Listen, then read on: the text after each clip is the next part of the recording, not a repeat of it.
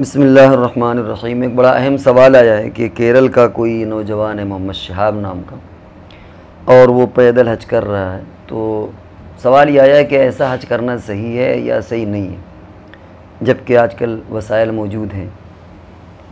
इस सिलसिले में एक वजात और आई है कि ये शख्स मालदार है, यानी अल्लाह ने बहुत नवाजा हुआ है, पैसे भी हैं, क्योंकि जितना आसान हम समझ रहे हैं उतना होता नहीं है, पहले रूट तय किया जाता है। और नक्शा पास कराया जाता है, हुकूमतों से इजाज़त ली जाती है, जितने जितने मुल्क पड़ेंगे उन सबसे वीज़ा और ये सब चीज़ें करनी जाती हैं। उसमें उतना ख़र्च हो जाता है कि आदमी कई हज कर लेगा। तो इतना आसान नहीं कि आदमी ने हज कर लिया। तो ये जो हज कर रहे हैं शहाब साहब, इसी इसलिए नहीं कर रहे कि इनके पास पैसा नहीं अलहमदिल्ला बहुत पैसा इनके पास है, लेकिन जज्बा है कि हम पैदल हज करें। तो अभी सिलसिले में मसला ये होता है कि क्या हुक्म है?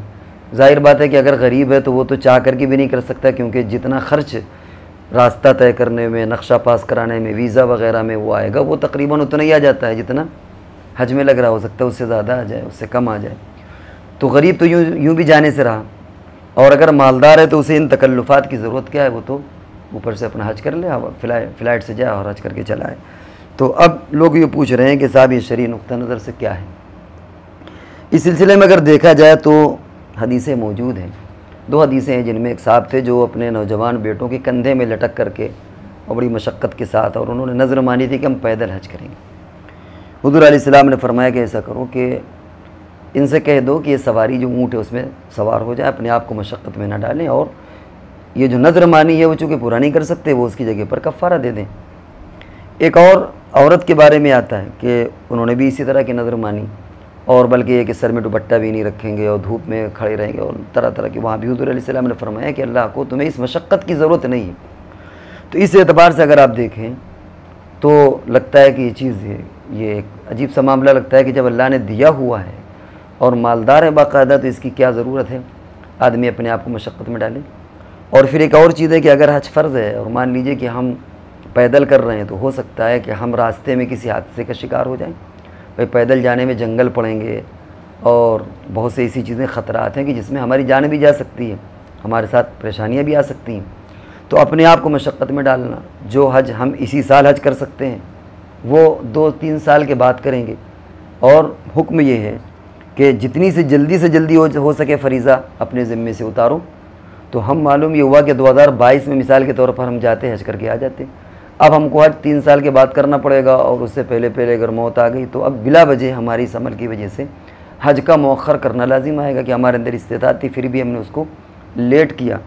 तो ये तमाम चीज़ें इस सिलसिले में होती हैं कि एक तो हदीस का वो पहलू कि अपने आप को बिला वजह मशक्क़त में मत डालो, दूसरे हज का मौखर करना। तीसरे कि अगर कोई हादसा पैदा हो जाए, इस तरह ज़्यादा चांसेस है, वैसे तो हादसा कहीं पर भी हो सकता है, लेकिन इस तरह हादसे हादसे ज़्यादा होते हैं तो हो सकता है कि हम हज फ़र्ज़ से भी रह जाएँ।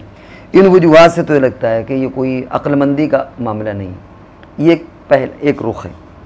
और दूसरा रुख और सिक्के का दूसरा पहलू ये है कि बाद लोगों ने कहा है कि इसके ज़रिए से अवेयरनेस पैदा हो रही है, बेदारी पैदा हो रही है।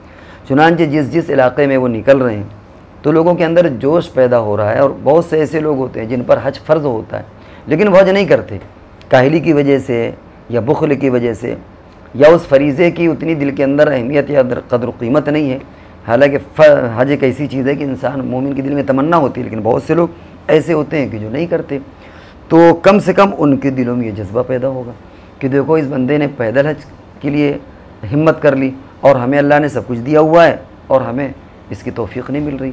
तो एक इसका पहलू ये भी है कि बेदारी पैदा हो रही है लोगों में और इस तरीके से गोया उनके अंदर जज्बा पैदा हो रहा है। तो दोनों चीज़ें मिली जुली अब इनकी नीयत पर डिपेंड है कि वो नीयत क्या है। वाक़ता अगर इनकी नीयत ये है, और बज़ाहिर ऐसा लगता है कि शहरत मकसद नहीं होगा, लेकिन अगर इनके दिल में ये नीयत थी कि इसी तरीके से लोगों में अवेयरनेस और बेदारी पैदा हो, और जो लोग हज फरीज़ा से फरीजा से गाफिल हैं, उनके अंदर गफलत दूर हो, और वो इस फरीज़े को अदा करने वाले बने, इसलिए हम ऐसा काम कर रहे हैं तो हमारे अपने एतबार से और जो मुनासिब है ये राय अच्छी है। लेकिन अगर कोई नीयत नहीं थी, बस ये कि यूँ ही एक रिकॉर्ड बनाना है बहुत से लोग रिकॉर्ड बनाते हैं। जैसे एक साउथ अफ्रीका का भी सुना है। या इस तरह कोई और चीज़ है तो फिर ज़ाहिर बात है कि ये अमल मुनासिब नहीं है। और वैसे भी हदीस की रोशनी में अगर आप देखें, शरी उसूल की रोशनी में तो अपने आप को बिला वजह मशक्क़त में डालना हुजूर ने इसको पसंद नहीं फरमाया। आपके ज़माने में भी ऐसे लोगों ने पैदल हज की नियत की, और आपने जब देखा कि इसके अंदर इस्तेदाद नहीं है तो आपने कहा कि सवारी पर तुम सवार हो जाओ, ऊँट पर चलो, सवारी पर सवार हो जाओ, पैदल मत करो। आपने उस नज़र को तोड़वाया, नज़र को ख़त्म करवाया, कफ़ारा दिलवाया। तो इस एतबार से अगर आप देखें तो यानी ये ये कोई अक्लमंदी वाली बात नहीं है। और उस पहलू से अगर आप देखें कि लोगों के अंदर बेदारी पैदा हो, हज का फरीज़ा लोगों को मालूम हो, और जो लोग इस्तात रखने के बावजूद हज नहीं करते, उनके अंदर दिलचस्पी पैदा हो, शौक़ पैदा हो तो अल्लाह के दास से उम्मीद है कि उनको उस नेक नियति की वजह से, और ये एक, ये गोया दावती पैगाम हो गया ये। इस एतबार से अल्लाह के दास से उम्मीद है कि इन अल्लाह ताला उनको अजर सवाब देगा। अब यह तो उनकी नीयत पर डिपेंड है।